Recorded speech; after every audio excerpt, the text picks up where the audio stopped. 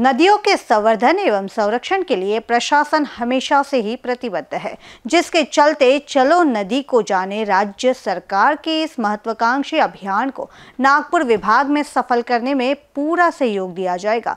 ऐसा आश्वासन विभागीय आयुक्त विजया लक्ष्मी बिद्री ने जलतज्ञ डॉक्टर राजेंद्र सिंह को दिया है। पूरे देश में नदियों का महत्व अध्यात्म से जोड़ा जाता है, लेकिन सत्य परिस्थिति को देखा जाए तो आज राज्य की नदियाँ बड़ी मात्रा में दूषित हो रही है, जिसके चलते वाटरमैन के नाम से प्रसिद्ध राजेंद्र सिंह ने इस मुद्दे पर चिंता जताई है और चलो नदी को जाने इस अभियान की शुरुआत की है, जिसके संबंध में अभियान के प्रतिनिधि मंडल ने विभागीय आयुक्त विजया लक्ष्मी बिद्री से मुलाकात की। इस समय समिति के अशासकीय सदस्य नरेंद्र चूक डॉक्टर सुमित पांडे, डॉक्टर प्रवीण महाजन, रमाकांत कुलकर्णी आदि उपस्थित थे। मुलाकात के दौरान चलो नदी को जाने अभियान के प्रबंधन पहलुओं पर चर्चा की गई। बहरहाल, इस समय नागपुर के विभिन्न नदियों के संबंध में जानकारी दी गई थी। साथ ही साथ, विभागीय आयुक्त ने इस अभियान को सफल करने का विश्वास भी जताया है। इस अभियान के तहत जन समावेश और प्रशासन के सहयोग से नदियों की स्वच्छता की जाएगी। कैमरा पर्सन राजकुमार मोड़ के साथ मनीष टेमरे